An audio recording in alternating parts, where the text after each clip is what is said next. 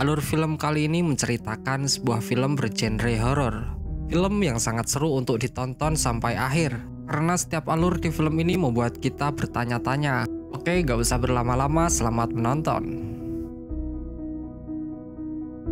Adegan pertama di film ini memperlihatkan seorang pria sedang berjalan mengambil bangkai tikus, lalu dia membawanya pulang.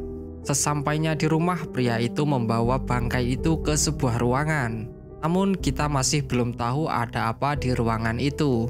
Selanjutnya tokoh utama di film ini bernama Atarva. Dia seorang pilot. Sepulang tugas dia menjemput putrinya yang bernama Arya di kampusnya. Ia tidak mengetahui kedatangan ayahnya.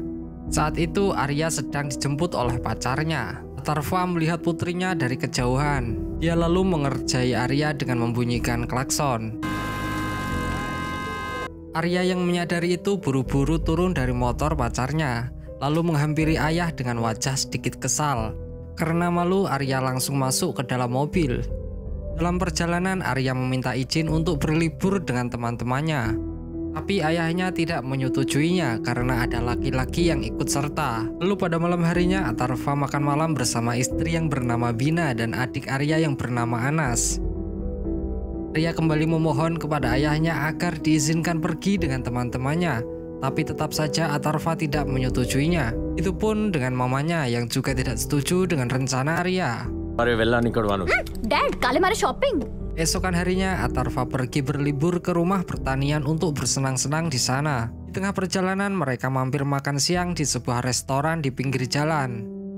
Mereka pun makan siang di restoran itu, tapi Arya tampak tidak menyukai makanannya. Dia berkata kalau tidak mau makannya karena merasa jijik dengan makanan itu. Dan maru nih. Maru nanti kau. Ew.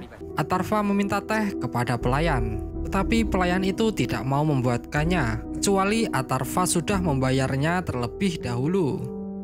Lalu Atarva menuju kasir untuk membayar, tapi kasir itu tidak memiliki uang kembalian. Sedangkan Atarva juga tidak punya uang kecil.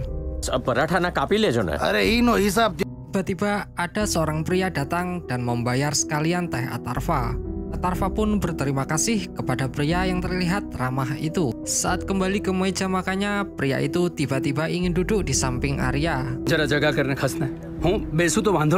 Karena merasa berhutang pada pria itu, Atarva pun mengizinkan pria yang bernama Pratap itu untuk duduk. Mereka pun saling berkenalan. Atarva sekali lagi meminta Arya untuk memakan makanannya.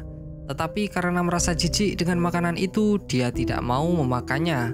Kemudian Pratap memberikan sebuah kue kepada Arya, lalu dia mencobanya.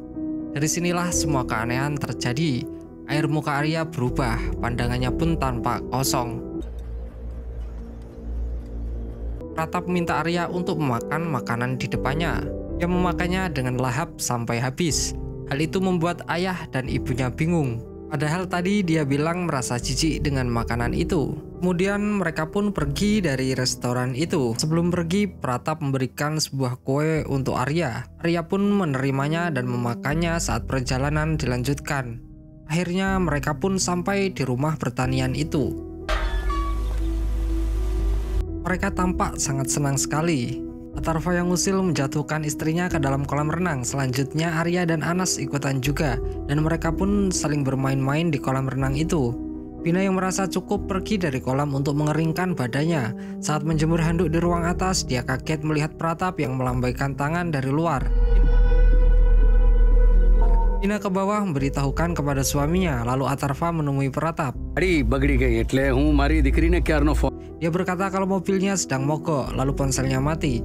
Prata berkata kalau dia ingin meminjam telepon untuk menghubungi putrinya. Atarva mengizinkan masuk dan meminjamkan telepon rumahnya, tetapi tidak ada jawaban dari putri Pratap. Prata berkata mungkin putrinya sedang ada kesibukan, jadi dia menunggunya sambil dibuatkan kopi oleh Bina. Network mana iPhone itu. Lalu saat Arya selesai berenang, Prata memanggilnya dan menyuruhnya untuk duduk. Arya pun mengikutinya seperti sedang dihipnotis. Atarva marah kepada Arya karena badannya yang basah itu membasahi sofa. Tetapi Arya lebih menuruti perkataan Pratap daripada ayahnya. Lalu dia pergi untuk ganti baju saat Pratap menyuruhnya pergi. Di sini Atarva masih belum menyadari keanehan yang terjadi pada putrinya.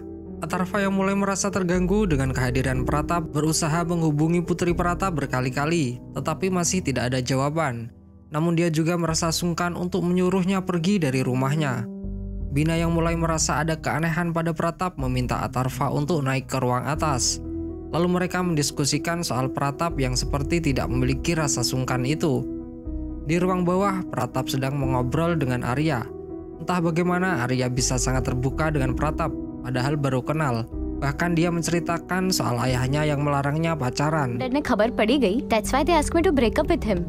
Anas yang sedang bermain bola tidak sengaja melemparkan bola itu sehingga mengenai kepala Arya. Ratap yang marah meminta Arya untuk menampar adiknya. Arya pun tanpa berpikir panjang menghampiri adiknya lalu memukulnya hingga terjatuh. Ah! Atarva yang melihat kejadian itu memarahi Arya dia tidak mengerti kenapa Arya bisa setega itu dengan adiknya. Arya sebenarnya sangat menyesali perbuatannya. Ia meminta maaf kepada ayahnya. Lihat Arya yang selalu nurut dengan Pratap membuat Atarva mulai geram. Ia meminta Pratap untuk segera pergi dari rumahnya. Saat makan malam, orang tuanya kembali memarahi Arya kenapa bisa setega itu dengan adiknya. Arya beralasan kalau dia hanya menuruti perintah Pratap. Saat di meja makan, Pratap juga berkata kalau dia tahu semua tentang Arya, soal liburannya dan hubungannya dengan seorang pria. Bina yang mendengar itu terkaget kenapa Pratap bisa tahu semua hal tentang Arya. Arya berkata kalau Pratap bertanya dan dia hanya menjawabnya. એમને મને પૂછ્યું એટલે કીધું બેન Bina benar-benar merasa ada yang aneh dengan sikap anaknya. Dia bertanya apakah Arya baik-baik saja. Arya sebenarnya berkata tidak. Namun saat Pratap meminta Arya berkata baik-baik saja, dia pun lantas berkata dia baik-baik saja. Oke, cu. Atarva sudah hilang kesabaran, dia berusaha menarik Pratap untuk segera pergi. Namun Pratap berkata dia tidak mau pergi dari sini. Lalu Pratap meminta Arya untuk menghentikan ayahnya yang berusaha mengusirnya. Arya pun melakukannya. Dia bahkan sampai berteriak dan mendorong ayahnya. Ayah. એમને રહેવા દો આર્યા અરે તું શું કરીશ Anas yang melihat kejadian itu sangat ketakutan. Lalu Bina memintanya untuk naik ke ruang atas. Selanjutnya Pratap meminta Arya untuk memakan bubuk teh mentah. Dia pun melakukannya. Sambil merintih dia mengatakan dia juga sebenarnya tidak tahu kenapa bisa selalu menuruti perkataan Pratap. Saat itulah Bina mengatakan kalau Pratap mengguna-guna Arya. Pratap pun mengiyakan. Hmm. Dia berkata, apa pun yang keluar dari mulutnya akan selalu dituruti oleh Arya. Atarva yang berpikiran modern sebenarnya tidak mempercayai dengan hal begituan. Pratap pun memberikan bukti lagi. Dia meminta Arya untuk tersenyum, lalu seketika Pratap memintanya untuk menangis. Arya pun menangis sesenggukan. Tetapi Atarva masih tidak mempercayainya. Rata pun meminta Arya untuk menampar ayahnya sendiri. Arya! Dan saat itulah Atarva baru mempercayai sihir peratap. Sorry, Dad. Di dalam rumah itu, suasana sangat menegangkan. Ratap meminta Atarva dan Bina untuk duduk. Ratap memerintahkan Arya mengambil semua HP lalu membantingnya. Setelah itu, Pratap memerintahkan Arya untuk memijit kakinya. Lalu Atarva dengan memelas bertanya apa yang sebenarnya Pratap inginkan. Pratap pun menjawab kalau dia menginginkan putrinya. Dia ingin membawa Arya ke rumahnya. Dikri Nah! Mendengar hal itu, Bina sontak menangis memohon kepada Pratap. Kemudian Pratap berkata dia hanya akan membawa Arya kalau Atarva dan Bina rela menyerahkan kepadanya. Namun Atarva dengan lantang mengatakan dia tidak akan pernah memberikan putrinya begitu saja kepada orang jahat seperti Pratap. Bye, Pratap menegaskan kini pilihannya hanya dua. Mereka secara sukarela menyerahkan putrinya atau dia akan memerintahkan Arya untuk membunuh kedua orang tuanya. Dina yang terus menangis bertanya kenapa Pratap melakukan ini kepada keluarganya. Pratap mengatakan kalau sebenarnya dirinya adalah iblis. Dia menyukai suara tangisan saat orang tidak berdaya memohon dan memelas kepadanya dan hal itu memberikannya kepuasan luar biasa. Anas keluar dari kamarnya. Dia ketakutan saat melihat momen di hadapannya. Lalu Pratap memerintahkan Arya untuk memukulnya, namun segera dihentikan oleh Bina. Lalu tiba-tiba Pratap menendang Arya dan hal itu sontak membuat Atarva marah dan menyerang Pratap. Saat merasa terpojok, Pratap berteriak kepada Arya memerintahkan untuk menghentikan Atarva. Selanjutnya, Pratap meminta Arya untuk menyerang adiknya. Tarva dan Bina segera membawa Anas ke atas untuk mengobatinya. Namun sepertinya luka Anas sangat parah dan butuh pertolongan dokter. Tarva pun tidak kuasa menahan tangisnya. Kenapa hal buruk bisa terjadi kepada keluarganya? Bina yang sudah kehabisan cara mencoba memohon kepada Pratap agar mengizinkan mereka membawa Anas ke rumah sakit. Namun jelas Pratap menolak permintaan itu. Pratap masih kesal karena diserang oleh Atarva. Dia lalu meminta Arya mengambil sebuah pisau. Dia berkata kalau misal orang tuanya kembali menyerangnya, maka Arya akan menusukkan pisau itu kepada mereka. Pratap meminta Atarva untuk berlutut di depannya. Hal itu pun dilakukan oleh Atarva demi keselamatan anaknya. Atarva menawarkan rumah dan uang, namun Pratap tidak membutuhkan itu semua. Selanjutnya Bina menangis, namun Pratap semakin menikmati tangisan dari orang yang disakitinya. Oh, Mikmango Kaguro. Pratap meminta Arya untuk menampar dirinya sendiri. Dia melakukannya hingga Bina pun menjerit memohon untuk menghentikan itu. Pratap meminta Arya memainkan sebuah musik lalu menyuruhnya menari-nari di hadapannya. Tarva memutuskan untuk kembali ke kamarnya. Lalu si Pratap mulai mengantuk. Sedangkan Arya mulai kelelahan menari lalu ibunya mengambilkannya minum. Namun Pratap meminta menuangkan minuman itu. Sementara Pratap ingin tidur. Arya diminta untuk menjaganya dengan pisau di tangannya jika orang tuanya berusaha menyerang Pratap. Karena rasa kesal yang memuncak, Artarva mengambil sebuah kayu untuk menghajar Pratap. Namun segera dihadang oleh Arya dengan tangisan agar ayahnya kembali ke kamarnya.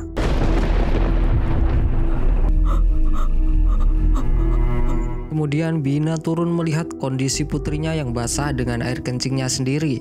Dia berniat untuk menggantikannya dengan pakaian baru. Namun Pratap meminta Arya untuk membuka celananya. Lantas segera Bina menutupi tubuh Arya dengan badannya. Lalu dia segera mengambil pakaian untuk Arya. Kemudian Pratap meminta Bina mengepel lantainya. Lalu mereka melakukan negosiasi kembali. Namun orang tua Arya tetap kekeh tidak mau putrinya diambil oleh Pratap.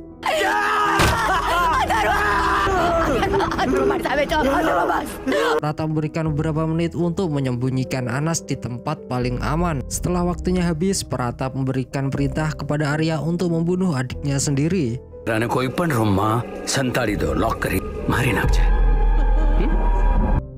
પણ અવાજ ના કરતો Arya pun berlari menuju sebuah sudut rumah demi menemukan adiknya. Dia mendobrak kamar adiknya dengan sekuat tenaga. Namun saat berhasil membukanya, dia tidak menemukan keberadaan adiknya.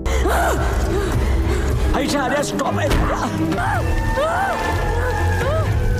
Arya mencoba bertanya kepada orang tuanya sambil menendang ibunya sendiri dan melukai tangan ayahnya. Saat mendengar petir, Anas ketakutan dan berteriak di lantai atas.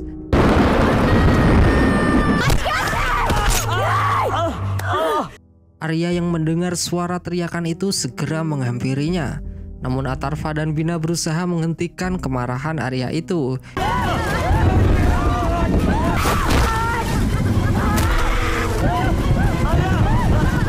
Anas berusaha kabur ke lantai atasnya lagi, namun Arya berhasil menangkapnya dan menjatuhkannya ke bawah.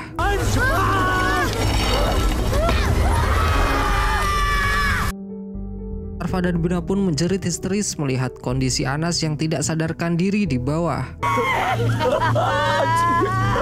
Namun Atarva mendapati putranya itu masih bernafas dan dia meminta izin untuk membawanya ke rumah sakit.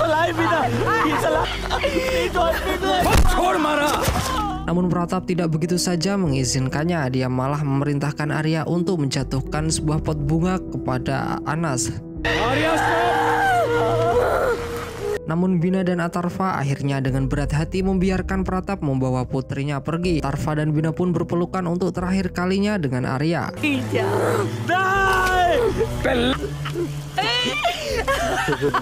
Namun Atarva secara diam-diam memasukkan handphone ke saku Arya untuk melacak keberadaannya. Sambil menangis sesenggukan, Arya berjalan pergi bersama Pratap. Bina segera membawa Anas pergi ke rumah sakit. Namun sialnya saat perjalanan terjadi kecelakaan yang menewaskan ibu dan anak itu. Lalu Atarva segera mengikuti Pratap menggunakan GPS. Sementara Pratap dan Arya sudah sampai di rumah Pratap yang terlihat menyeramkan itu. Di dalam rumah itu ternyata ada banyak sekali wanita yang menjadi korban sihir dari Pratap.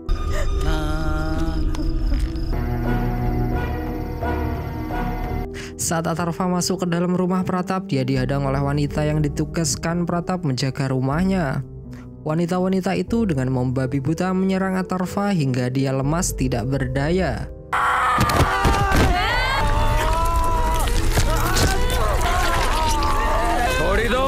Lalu Pratap datang meminta untuk menghentikannya. Lalu Pratap mengumpulkan semua wanita termasuk Arya. Lalu Arya menjelaskan kalau ayahnya datang kemari dari ponsel yang dimasukkan ke sakunya. મારા પોકેટમાં ફોન મૂકેલો તો કદાચ Atarva yang lemah tak berdaya itu meminta satu permohonan kepada Pratap. Dia hanya mau dibunuh oleh putrinya sendiri. Pratap menyetujuinya namun saat Pratap berbicara ke arah lain,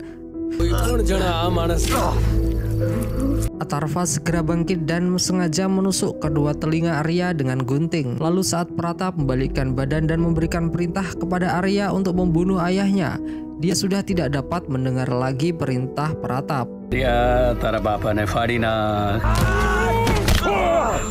Lalu Atarva segera menghantam Pratap hingga terjatuh dan mengambil lidah Pratap menggunakan tang hingga dia tidak dapat berbicara lagi. Ah!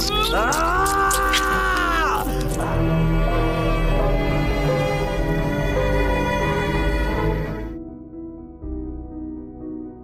Sebuah scene di awal film yang memperlihatkan seorang pria mengambil bangkai tikus sebenarnya itu adalah Atarva. Dia memberikan bangkai itu kepada Pratap untuk dimakan dan menyiksanya di dalam sebuah ruangan gelap dan pengap.